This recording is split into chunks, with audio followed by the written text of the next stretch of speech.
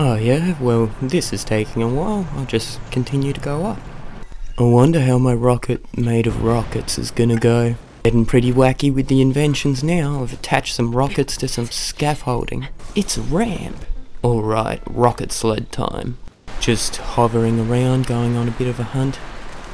Hit some kids there or something. Laser car. Okay, everything's firing in the wrong direction. Welcome to my channel or welcome back. Today we're just going to be doing some wacky experiments in Tears of the Kingdom. First I want to find out how high will this game actually let you fly. Remember to like and subscribe, or don't and let me cry and struggle. First things first, we have to get to the highest point in the game, which is apparently the little star island just above Lookout Skyview Tower. So I'm just gonna build this nifty little hovercraft here to get me up to that point. Yeah, the island's around there. Um, somewhere. Well, this is a long flight. I guess, I guess I can edit around this. Alright, I've made it to the Star Island, which is apparently the highest point in the game and you know, lucky for me that it actually existed. Now I'm going to build a new type of hovercraft that'll help me ascend faster and have a bit more longevity because I'll chuck some batteries all over it. I'm just building it out of four fans and the reason I do this is because if you don't have any supplemental material like wood or any of that bullshit, then it'll never delete and you can just fly for as long as your batteries exist. Alright, here's my perfect reverse helicopter thing. Let's see how high we can actually get. Up, up we go. It's genuinely impressive how far the render distance is on Nintendo Switch. I can't wait for their next console to be the Nintendo Wii 3. You can't go any further. Well, I guess that's about as high as you can get. That sure wasn't underwhelming at all. I guess I'll just... I'll just kinda die. Even falling to my death seemingly takes forever, so I guess I'll just speed this part up a bit. Alright then, let's build some weird shit that I'm sure work as intended. Let's just put those rockets there, and the base for my rocket made out of rockets is 9 rockets. Well, my rocket made of rockets isn't quite as big as I would have liked it to be. Apparently you can only attach around 22 rockets to one contraption. I have to use a rocket shield just to get on the damn thing. Alright, here we go.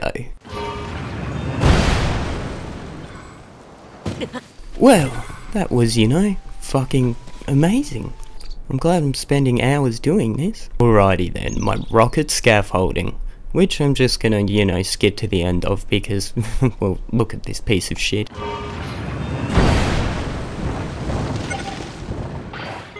Woo, awesome, what an amazing contraption. Alright, it's time for the rocket sled. I want to see how far we can fly horizontally. That, I'm going to build an awesome ramp out of some logs. Alright, well I've built the ramp about 40 times and I've just decided to go with the first design I built, which, you know, sucks. But check out this beautiful, beautiful rocket sled. Sure, everything's going to go to plan, just as it has in every other instance. Alright, so I had to remove some rockets from my rocket sled because the game was bitching about the whole rocket on rocket thing. Truthfully, there's just a maximum to how many materials you can use on each vehicle, but anyway, let's fly.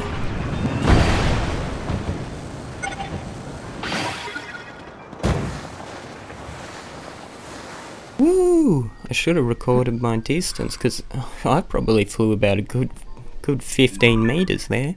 Alright, well let's change tact a bit and build something that's not just made completely out of rockets and, you know, just utterly absurd.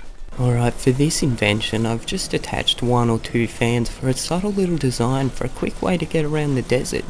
I've put a couple lasers on top just to deal with any would-be critters that want to fuck with me.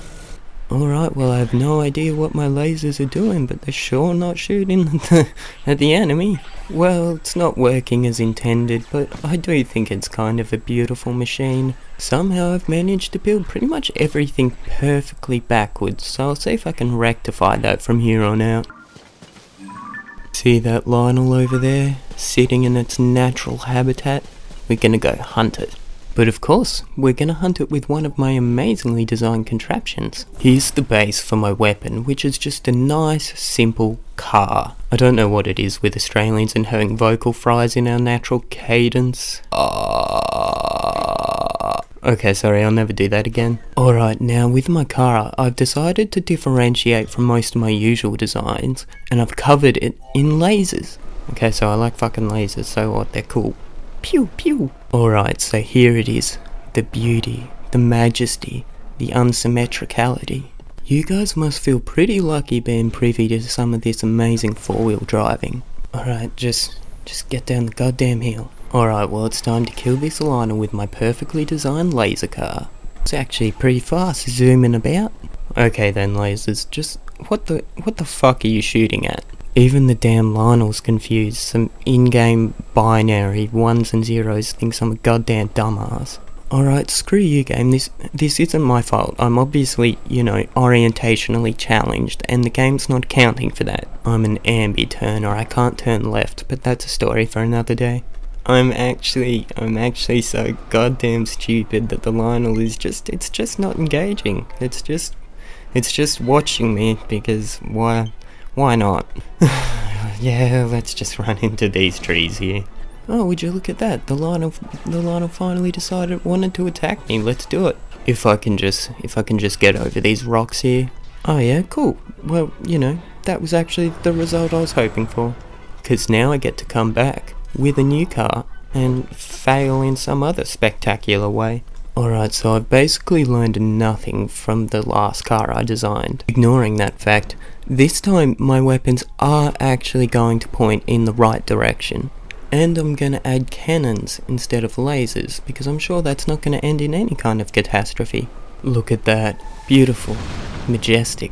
Symmetrical. Alright, let's see how my new and improved cannon car stacks up against this lion horse. I did it. I finally hit the Lynel. I, I hit it with my, with my cannons. I also blew myself up because the way I designed my car, it was pretty much impossible for that not to happen. Despite a really terrible first showing, my rocket car is actually doing much better than expected. Well, you know, until I do that, just let me quickly flip my car back around. Um, well, okay then. I'm just gonna, I'm just gonna sit here in the river and, and sulk for a while. Alrighty then, it's time for car number three. And what makes this car different is the weapons are actually pointing the right way and it's not designed to destroy itself. I really, I really hope so anyway. Alright, I've used what minimal brain power that I actually possess and I'm hoping this car should actually work as intended. I keep forgetting to get rid of that stupid Goron on the front of my vehicle. Would you look at that? Power. Power. My car is actually working as intended. I finally built something that actually works. I'm not a failure. Well, you know, I am, but not here. Just in every other aspect of my existence. My car's actually still alive. Go, destroy him, get him! There's some amazing driving on display there. I'm gonna try and stay at a distance so he keeps using his bow and doesn't just sort of, you know, blow up my car on a whim. Well, it's it's gonna do it. It's actually gonna do it. This piece of shit vehicle is gonna kill the Lynel.